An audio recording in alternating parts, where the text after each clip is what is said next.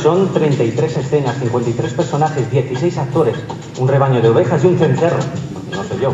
Pasarán en los próximos minutos todos ellos por nuestros oídos. Así que os llevo ya mismo a la casa encendida en Madrid para conectar en directo con nuestro ángel de la Anunciación, Paloma Ranz. Buenas noches. Hola, muy buenas noches, Santiago. Pasad, pasad. Perdonad el desorden. Eh, ¿Qué es la mirra? Bienaventurados los que lloran, porque ellos serán consolados.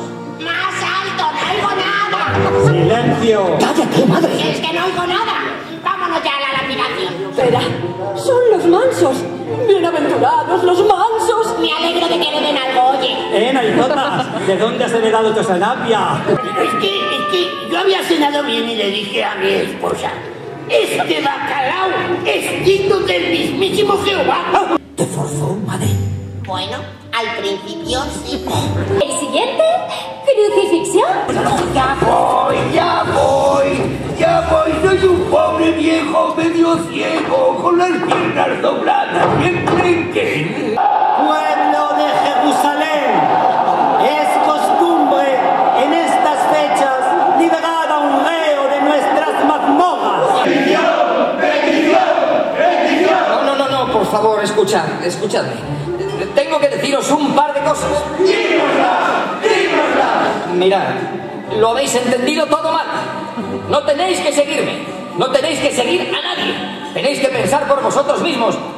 Nunca pierdas la moral, no te irrites, nunca pierdas el control.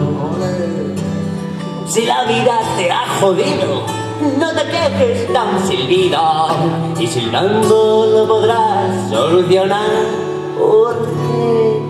Busca el lado bueno de vivir.